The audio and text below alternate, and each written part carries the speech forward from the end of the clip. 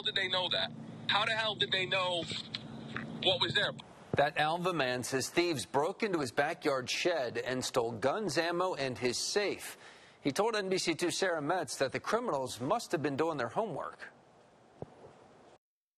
There's nothing that the Moreys won't overcome. Meet Brian Morey. His family moved to Alva a few months ago on Ria Alto Way. We're victims, but it is what it is. Victims of a break in and burglary. They gained access to the back walk-through door of my barn.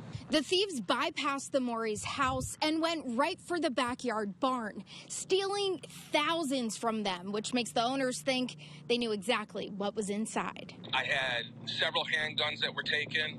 I had some AR-15s that were taken. Thousands of dollars worth of stuff guns, ammunition, tools, lawn equipment, a generator, jewelry, memorabilia, and lots of cash. Plus, a safe that Morey says weighs more than 600 pounds. This wasn't a one-man job. This wasn't um, wasn't even a two-man job. This took three or four people to move that safe. Morey says they struck while he was out of town, so he thinks their home was scoped out. Yes, they took ammunition. Yes, they took firearms, but they didn't take it all.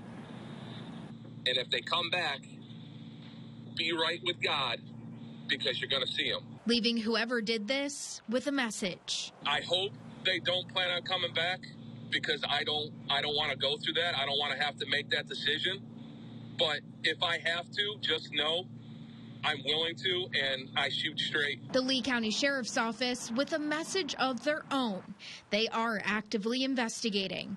We're local today from Alva, Sarah Metts, NBC2.